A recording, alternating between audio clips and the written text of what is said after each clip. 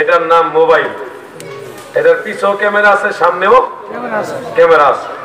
পিছের ক্যামেরাটা দিয়ে ছবি ওঠার ভিডিও করার সবই নর্মাল হবে সুন্দর হবে স্বাভাবিক হবে। কিন্তু আপনি যদি সেলফি ক্যামেরা দিয়া ভিডিও করেন ছবি ওঠান তাহলে সবই উল্টা হবে। আমি ডান হাতে পানি খাচ্ছি পান করছি। আপনি সেলফি ক্যামেরা মানে সামনের ক্যামেরা দিয়ে ছবি উঠান ভিডিও করেন পুরাই বোঝা যাবে বাম হাতকে কল্পনাও করবেন এটা যে ডাইন হাত।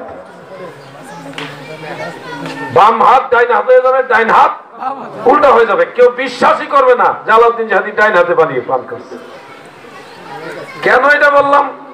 আমার প্রশ্নগুলি উত্তর পজিটিভ নিবেন নেগেটিভ নয়। সেলফি ক্যামেরামূলক নয়।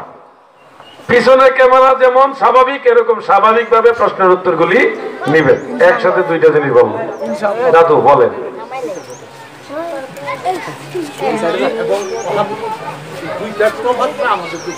ধন্যবাদ। আমার দাদু ভাই প্রশ্ন করলেন সন্নি এবং ওহাবি এই দুইটার তফাত কি? আমি এই ব্যাপারে যদি বলতে যাই তাহলে মূল তফাতটা হলো একেবারে সব কথার মূল কথাটা হলো হব্বের আসল আর যদি একটু ব্যাখ্যামূলক বলি মানে সন্নিরা আল্লাহর হাবিবের তাজিম তাকরিম সম্মানের বেশিটা সব সব চাইতে সব ক্ষেত্রেই গুরুত্ব দেয়। আর বাতেলরা এই ক্ষেত্রটা একটু তাদের দুর্বলতা আছে, অনেকটাই আছে। এটা হলো সব কথার এক কথা। আর যদি ব্যাখ্যামূলক বলি, সুন্নি হলো সাহাবাই কারাম, তাবিগণ। আগের যুগের সমস্ত ধারাবাহিক সব ইমামরা যেই মত এবং পথ, যেই আকিদা এবং যে আমলের উপরে ছিল, ওই আকিদা এবং আমলের উপরে যারা আছে তাদেরকে সংক্ষেপে বলা হয় সুন্নি। পুরা নামটা হলো আহলু সুন্নাতি ওয়াল জামাত। আর যারা আগের ইমামদের মতের সাথে কোন কোন বিষয়ে দ্বিমত পোষণ করেছেন, কার অনুসরণ করতে গিয়ে?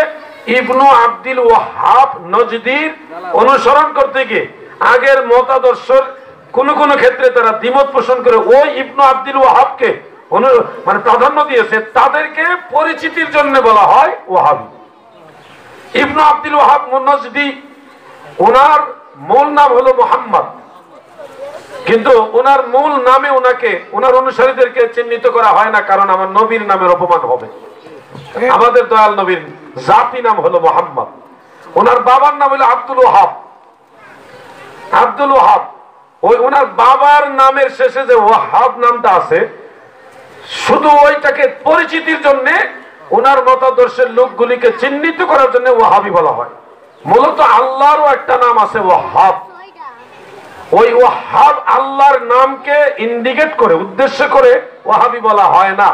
যেমন আমরা হানাফি, আমাদের মাঝহাবের ইমামের নাম নোমান। নোমান, ওই ইমাম নোমানের বাবার নাম হলো সাবিত। নোমান ইবনু সাবিত।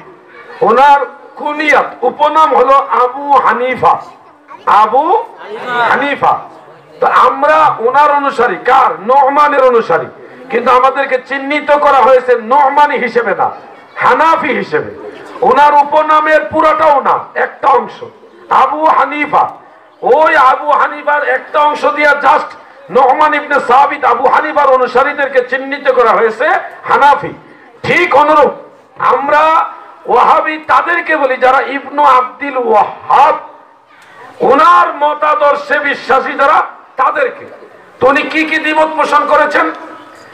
অনেক কথা এখানে আছে। আমি মুক্তাসার শুধু বলছি পৃথিবীর সমস্ত ইমামরা সাহাবিরা তাবিরা আইমাইকরা তিনারা বিশ্বাস করেছেন বলেছেন যে আল্লাহ রসুল সশরীরে জিন্দা। কিন্তু ইবনা আব্দুল ওয়াহাব নজদি বলেছেন তার কাশফুর সুবাহাত একটা বই আছে কাশফুর সুবাহাত।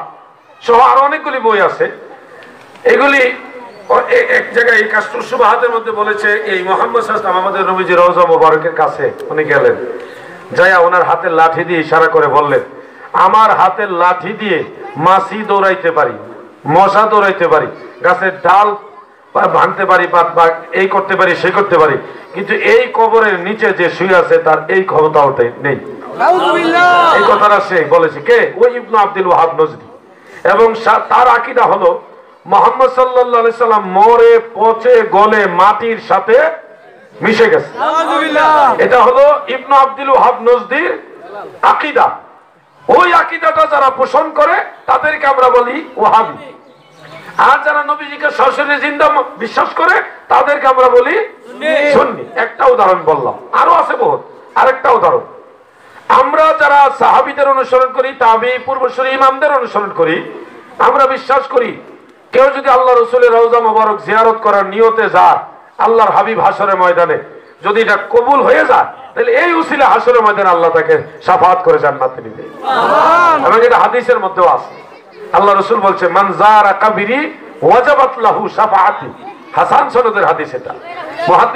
এটাকে হাসান বলেছেন। কেউ কেউ সহিও বলেছেন। কিন্তু এই ইবনু আব্দুল ওয়াহাব সে লিখেছেন তার বইয়ে, এবং তার অনুসারীরাও লিখেছেন যে, কেউ যদি নিয়ত করে আল্লাহ রসুলের রোজা মোবারকের উদ্দেশ্য করে যায়, তাহলে সেটা সোয়াব তো হবেই না, তার এটা কবিরা গুণা হবে। এমনিতে মসজিদে নবমীতে নিয়ত করে যেতে পারবে, সুযোগ হয়েছে জিয়ারত করতে পারবে। কিন্তু নবীজির জিয়ারতের নিয়ত করে গেলে কবিরা গুণা হবে। এখন যারা ওই মদকে প্রায়োরিটি দেয়, গ্রহণ করে, তাদেরকে আমরা ওই আব্দুল ওহাব নজদির ফুলার অনুসারী হিসেবে ওহাবি বলি। আর যাদের আকিদাটা আল্লাহ রসুলের হাদিস, সাহাবিদের সাথে মিল, তাদেরকে আমরা বলি সুন্নি। আরও অনেক ব্যাখ্যা আমি দিতে পারব। আমার মনে হয় শুধু এই তুলনামূলক আলোচনাটা করলে আমার দুই আড়াই ঘণ্টা আলোচনা আমি এখানে করতে পারব। সহজ এক কথায়, সাহাবাই কারাম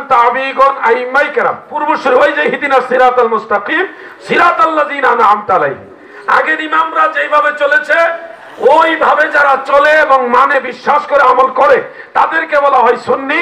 আর যারা আগের ইমামদের মতের সাথে কোন কোন ক্ষেত্রে দ্বিমত পোষণ করেছে ইবনু আব্দুল ওয়াহাব নজদির মতের সাথে একমত পোষণ করেছে তাদেরকে বলা হয় ওয়াহাবি। আরও অনেক কথা আছে আমি সংক্ষেপে শুধু এতটুকু বললাম। আল্লাহ আমাদের বোঝার তৌফিক দান করুক বলেন আমি